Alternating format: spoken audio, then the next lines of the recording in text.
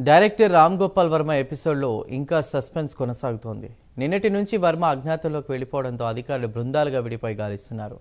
తమిళనాడుతో పాటు తెలంగాణలోని పలు ప్రాంతాల్లో వర్మ కోసం అధికారులు గాలిస్తున్నారు.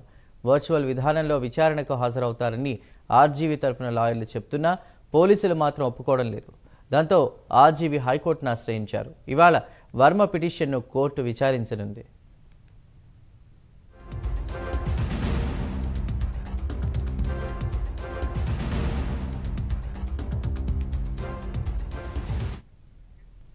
రైట్ ఆర్జీవీ అజ్ఞాతంలోకి వెళ్ళిపోయినట్టు తెలుస్తుంది. పోలీసులు బృందాలుగా విడిపోయి వెతుకుతున్నట్టు సమాచారం. పూర్తి సమాచారాన్ని మా ప్రతినిధి శ్రీనివాస్ అందిస్తారు. శ్రీనివాస్.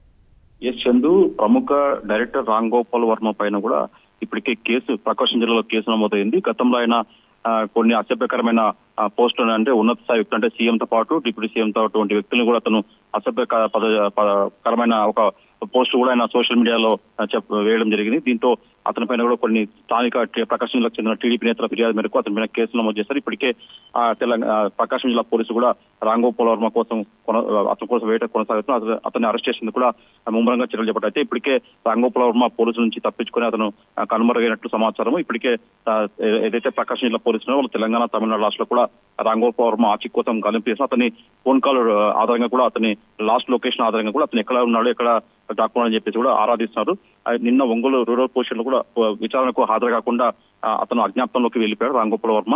దీంతో పోలీసులు హైదరాబాద్తో పాటు ఇతర ఇతర చోట ఇతర పలు ప్రాంతాల్లో కూడా ప్రత్యేకంగా నిఘా పెట్టి అతని కోసం ఇప్పటికే లుకౌట్ నోటీస్ కూడా జారీ చేశారు. అయితే మరోవైపు చూసుకుంటే రాంగోపాల్ వర్మ అతనుకు అరెస్ట్ కాకుండా ముందస్తు బెయిల్ కోసం కూడా అతను హైకోర్టును ఆశ్రయించారు. ఇప్పటికే ఈ రోజు హైకోర్టులో కూడా రాంగోపాల్ వర్మకు సంబంధించి కూడా ఏదైతే ముందస్తు బెయిల్ ఉందో ఆ బెయిల్ పిటిషన్ పైన కూడా ఈ రోజు హైకోర్టులో విచారణ రానుంది Chandu.